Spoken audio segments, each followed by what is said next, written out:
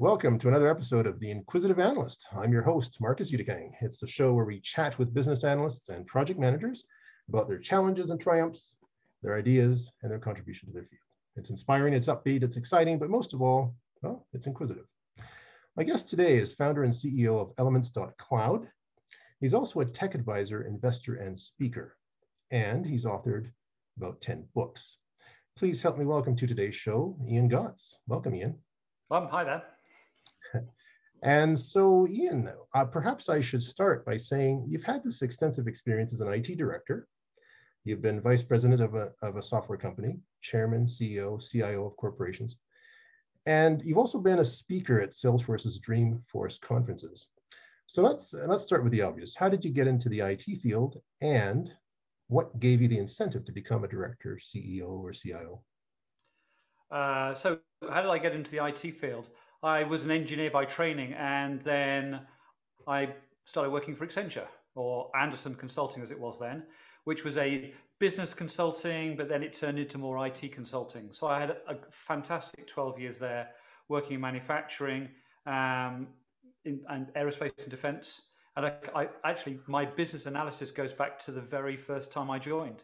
My first ever project, I was mapping out the business processes for an MRP2 or ERP as it now, is now, using I think AutoCAD. So I was trying to map out in a hierarchical way using sort of the SSADM approach, mapping out how an ERP system worked, so we could implement uh, that application at British Aerospace. So that's where I started in Accenture. Uh, had 12 years there where I grew very quickly, as you do. Um, one of the projects I had near the end, I, they'd seconded me in to be the CIO of the largest government agency in the UK, the DSS. So I was responsible there for a team of 500, and we were developing fraud systems and uh, a range of other applications. So, I mean, fantastic I always remember with Accenture, someone said you you could either get one year's experience in 10 or 10 years experience in one.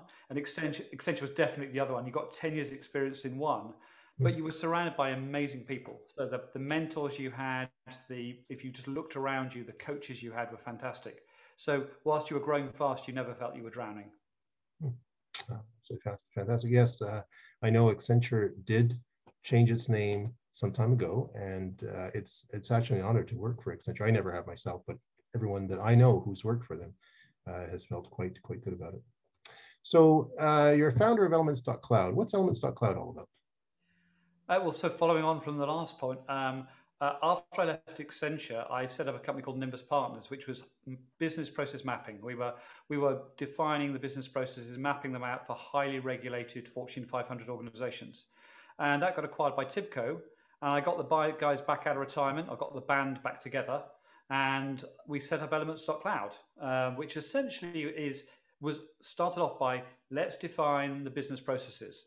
And because we've been a Salesforce customer since 2001, we recognize that Salesforce's customers have the same challenge. You're about to implement Salesforce, uh, infinitely configurable, hugely powerful, but unless you understand how your business processes work, it's very difficult to configure it, configure it correctly uh, and make sure it really works. So we built out that process mapping capability. And I was looking the other day that with over half a million process diagrams have been drawn in the last few years uh, by the Salesforce folks.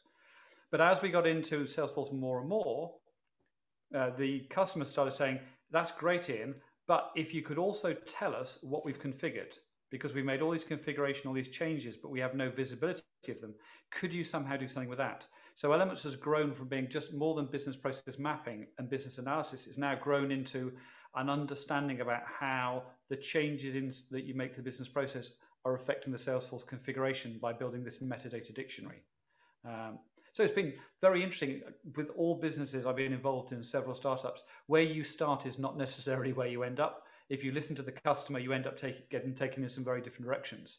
Um, so that elements.cloud, basically our, our view is you shouldn't be making ch changes to Salesforce and being surprised by what the impact is. You should be able to understand, manage that change cycle really quickly and have some good solid business analysis behind it. So there's that Salesforce component in elements.cloud. And just out of curiosity, uh, you've explained a bit about how it works. But um, how how big is it in the Salesforce world? Just out of curiosity. Uh, if anyone talks about Elements.cloud in the Salesforce world, you would have heard of us. Mm, okay. uh, so we are, uh, we've, there a couple of metrics. One, I said that there are half a million um, process maps that have been defined in some process diagrams defined. A lot of those are, are mapping out the Salesforce processes using uh, let me just take a sort of side note from it. Using a principle or a, a, notation called UPN, Universal Process Notation. It's been around for about 20 years. It's this idea of a hierarchical process mapping.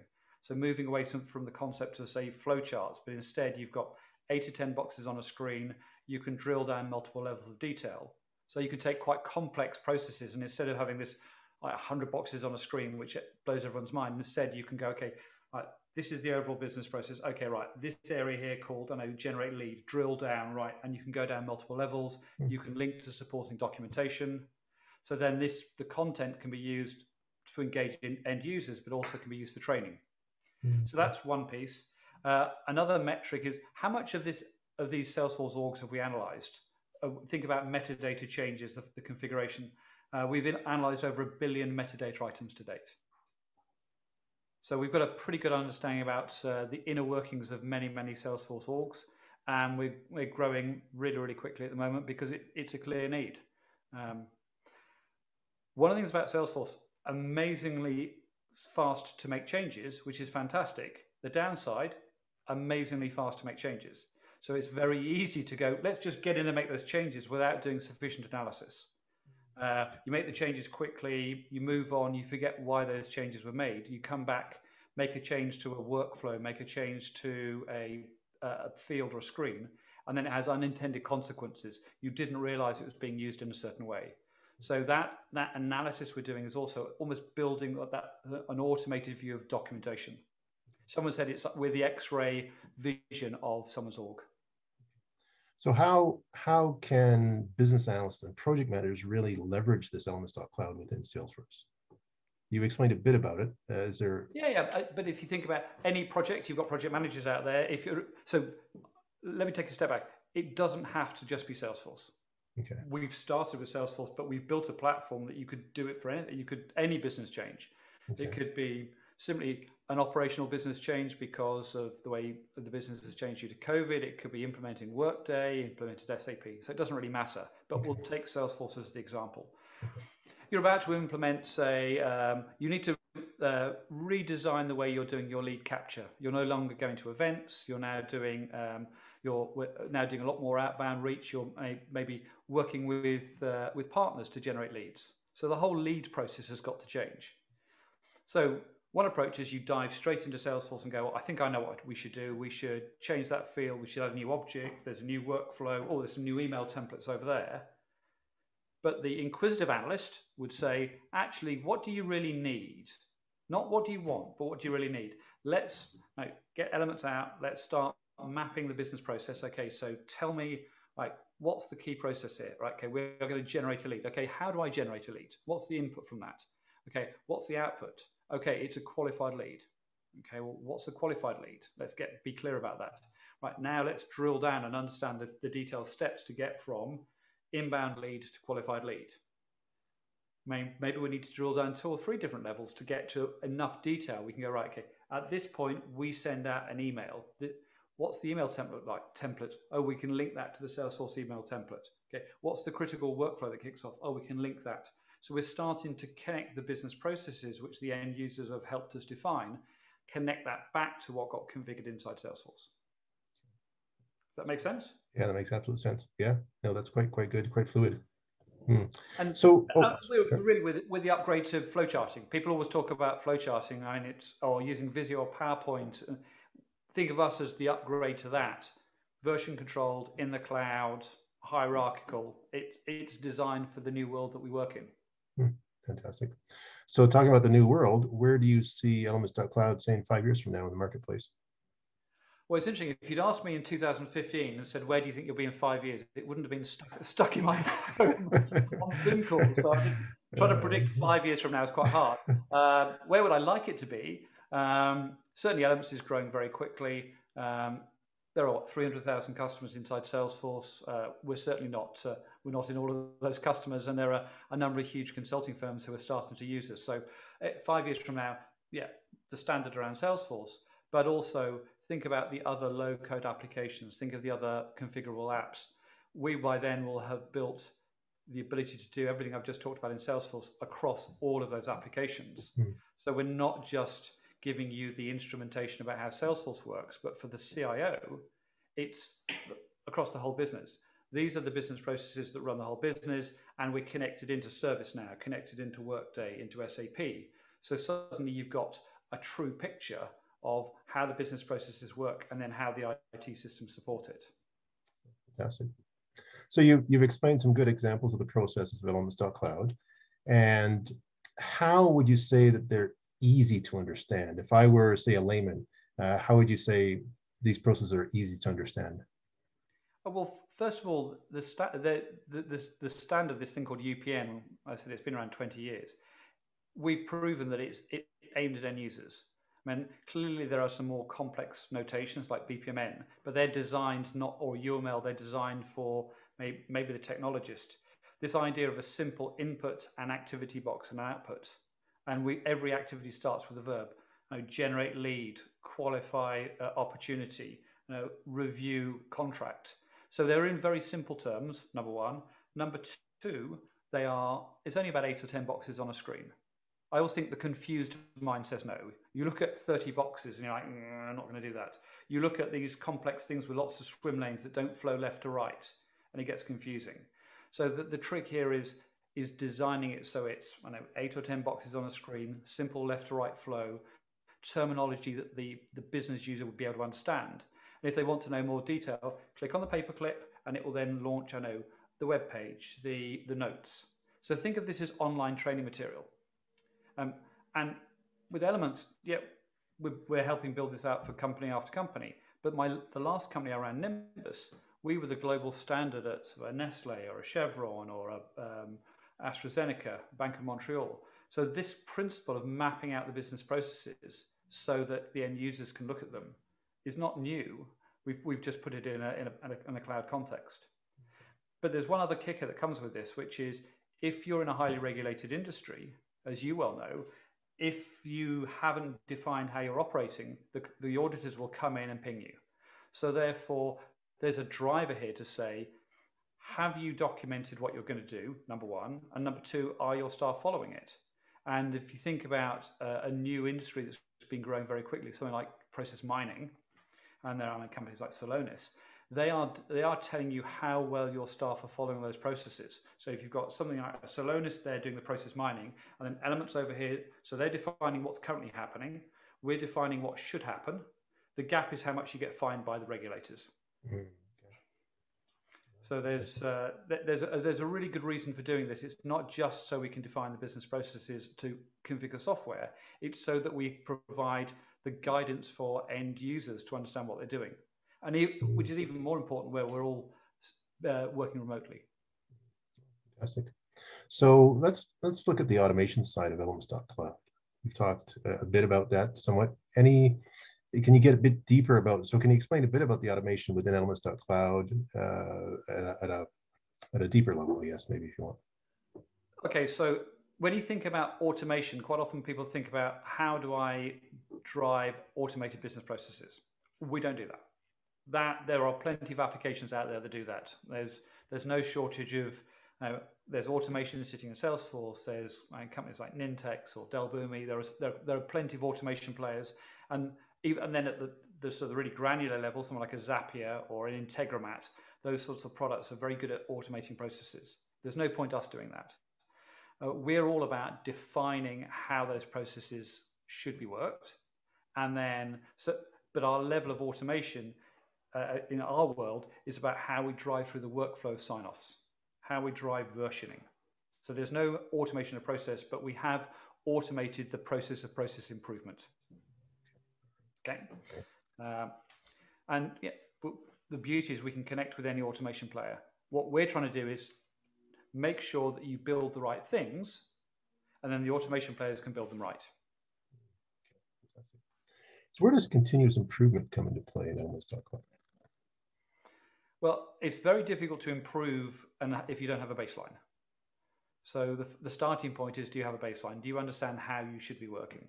So I think for many organizations where they've got, I know, a pile of documents sitting somewhere, either gathering dust on a hard disk or gathering dust on a, on a shelf somewhere, those processes are, are so out of date. So the first act of right, I mean, maybe it's uh, digital transformation is forcing organizations to rethink their processes. Maybe this is the first time they really start to define the processes end to end, engaging the stakeholders. So you get some continuous, you get some first improvement from getting people together remotely, but getting together online to say, okay, talk us through the end to end process here and capturing it live in live workshops with maybe something like elements. So that starts, you, you drive immediate improvements out of that.